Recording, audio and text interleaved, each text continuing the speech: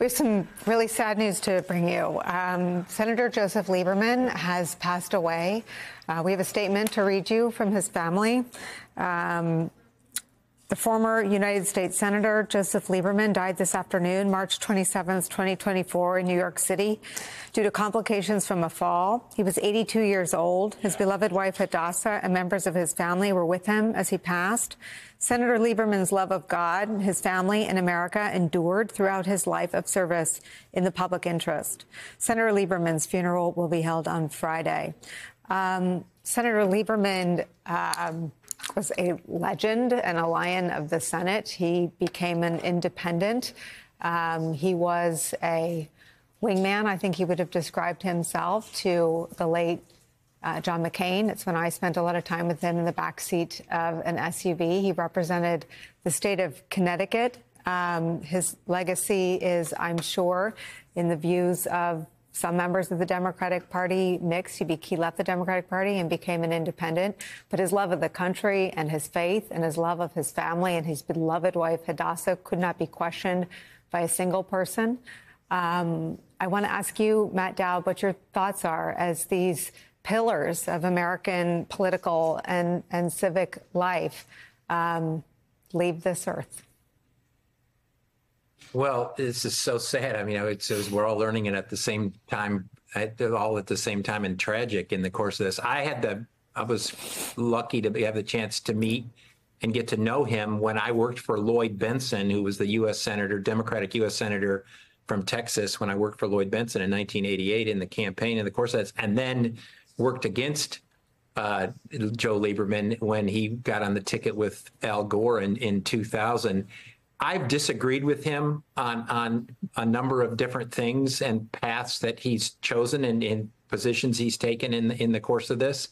But there is no question in my mind, having gotten to know him and then having watched him, the guy's a servant. That he's a public servant. He's he's b- believed in public service, and people that might disagree him, and as you said, Democrats may have may have chastised him at times in this. There's no question in my mind that you cannot not say that he is a he has served in public office and done it in a very very uh, in, in in a way with integrity in the course of this and so, I mean, it is sad. I actually thought in 2008, and I know you were more intimately involved, I thought John McCain should have picked Joe Lieberman instead of Sarah Palin. Um, and, you know, who's, who's to know? Who's to know? I thought he should. And I think John McCain's in, in, inclination was to. And then I think he was talked out of it because he couldn't put, quote unquote, a Democrat on the ticket and would have a problem in the convention. But who's to know what that would have meant without Sarah Palin having raised? And because to me, Sarah Palin was Donald Trump Jr. before Donald Trump came on the scene. Sarah Palin was in the course of this, but sad day because he really, you could disagree with him on things and criticize him in a partisan way. He was a public servant. Marc Elias, um, I know you two worked with him. Um, he was one of the kindest people, and he and Hadassah had a love affair. Um, he just oozed warmth toward everyone and anyone that was ever in his presence. He had wisdom. He had deep, deep reverence um, for this country and for those who serve. Again, even as Matt Dowd is saying, even those who he disagreed with, which over the course of his career, um, some I think he would say um, some of that shifted. Yeah, look, I I knew Senator Lieberman because I was a young lawyer, uh, and he was my client, uh, and I worked very closely with his campaigns um, and uh, at times with him, and he was he was people don't don't remember, but he was a not just a giant in the Senate. He was he had been a giant in the legal profession before that. He had been the um, uh, in Connecticut, and he was kind with his time. Um, he cared enormously, enormously about how other people were treated, both his staff, people around him, but also how you know his constituents and ordinary Americans were. He would. He, w- he was devoutly religious, but he would walk to the Capitol on Saturdays if he mm-hmm. needed to vote um, because he was committed to doing the public good. And sure, later in his career, um, he you know, took a turn with the Democratic Party.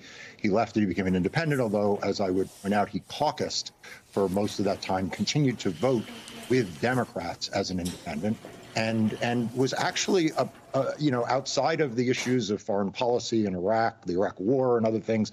He, he remained a pretty liberal vote on many of the policy issues that Democrats cared about the most for most of his Senate career. So, you know, I, I will look back um, and always remember him as one of the senators who didn't just do the public's business when the TV cameras were on, but did it when the cameras were off and treated everyone with dignity and humanity. And may his memory be a blessing.